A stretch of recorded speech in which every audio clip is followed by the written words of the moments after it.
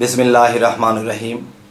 হে সমস্ত জগতবাসী আজ আমি শামিম আলী চিস্তি আপনাদের সামনে যে আলোচনাটি নিয়ে আসলাম, সেটি হলো, এই রমজানের ঈদ সকলের জন্য নয়, এই রমজানের ঈদ সকলের জন্য তো নয়, এবং কোন কোন লোকেদের জন্য এই রমজানের ঈদ হারাম, এই বিষয়ে আপনারা বলবেন যে কোন ব্যক্তিদের জন্য এই রমজানের ঈদ করা হারাম, এটি কিন্তু আপনারা বলবেন, আপনাদের উপরে ছেড়ে দিলাম। ভিডিওটি ছোট করে বলব, সম্পূর্ণটি শুনবেন ইনশাল্লাহ সেটি হলো দেখুন,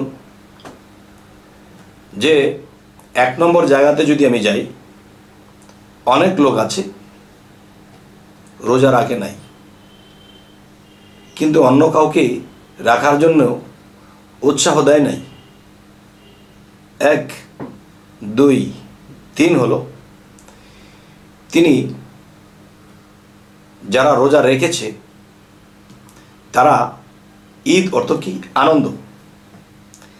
ঈদ অর্থ যদি আনন্দ হয়, তাহলে আপনি যদি পরীক্ষায় পাশ করেন, তখন আপনার যখন স্কুল থেকে সার্টিফিকেট দেবে, তুমি ফার্স্ট ডিভিশন পাস হয়েছ, তুমি লেটার পেয়েছ, তুমি গোল্ডেন পেয়েছ তখন হাতের মধ্যে পেয়ে আনন্দ, আনন্দের আর নাম কি? ঈদ। সে দৌড়ে বাড়িতে আসবে, মনের মন মিষ্টি কিনে বিলি করবে আর আনন্দ করবে, আমি পাশ করেছি। এখন আল্লাহ কিন্তু বলেছে, এই রমজানে যারা রোজা রাখবে, আমি যাদেরকে এই রোজার পুরস্কার নিজের হাতে দেব, তারাই আনন্দিত, তারাই খুশি। আর ঈদ অর্থ আনন্দ, খুশি। তাহলে যারা আল্লাহর হাতে এই রোজার পুরস্কার পায়নি। তিরিশটা রোজা শেষ করেছে।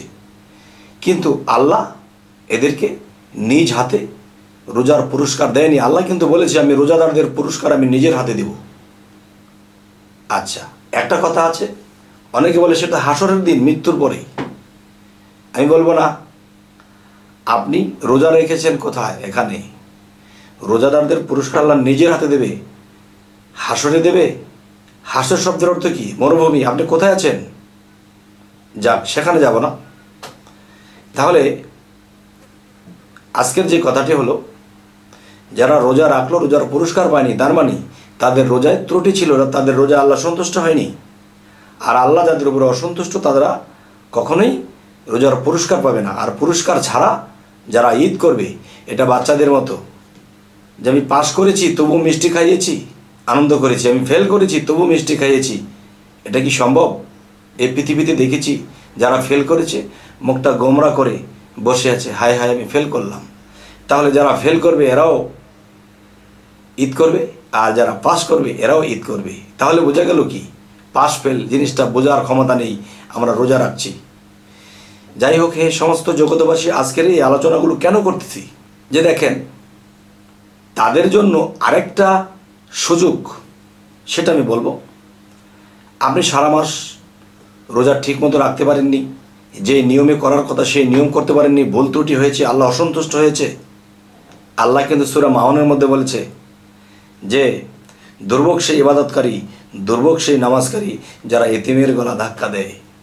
ওরকম ব্যক্তিরা যদি মনে করে আমাদের রোজার মধ্যে অনেক ত্রুটি রয়ে গেছে, তাহলে আপনার সম্পদের হিসেবে আপনার যা জাকাত আসার কথা ছিল এর চেয়ে ডবল করে আপনি গরিব, এতিম, মিসকিনদের মধ্যে বিলিয়ে দেন, পিতৃহীন, মাতৃহীনদের মধ্যে বিলিয়ে দেন। তারা যদি তৃপ্তি পায়, তারা যদি আনন্দ পায়, তাহলে আল্লাহ আনন্দিত হবে আল্লাহ আপনার উপরে রহমত বর্ষিত করবে। এমনকি আপনার যে ভুল ছিল রোজার মধ্যে, এটা আল্লাহ কবুল করে নিতে পারে, যদি আল্লাহ চান, যদি আল্লাহ দয়া করেন। তবে এতটুকু করতে পারেন। আর পৃথিবীতে অনেক মানুষ রোজা রাখতেছে। মানুষকে বলতেছে, আমি রোজা রেখেছি, আজকে রোজাটা খুব কষ্ট হচ্ছে রে। আল্লাহ বলবে, দেখো, আমার গিবত করতেছে। আমি রোজা রাখতে বলেছি, কষ্ট করার জন্যই তো বলেছি।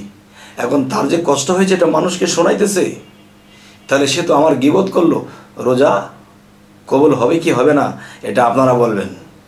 আরেকটা বিষয় হলো, যদি কেউ বলে যে, আমি আল্লাহর ইবাদত করি, এটা করি, সেটা করি, আল্লাহ বলবে যে এক দল পৃথিবীতে আছে, আমাকে দেখানোর জন্য পাবলিক দেখানোর জন্য আল্লাহর ইবাদত করে, আমার ইবাদত করে।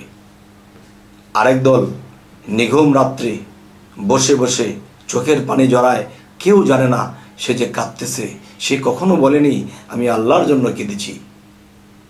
আচ্ছা দেখেন, এই পৃথিবীতে তারা কারা? তাদের নামটা আপনারা কমেন্টে অবশ্যই লিখে দেবেন। আল্লাহ কিন্তু বলেছে তোমরা ডান হাত দিয়ে দান করো, বাম হাত যেন জানে না।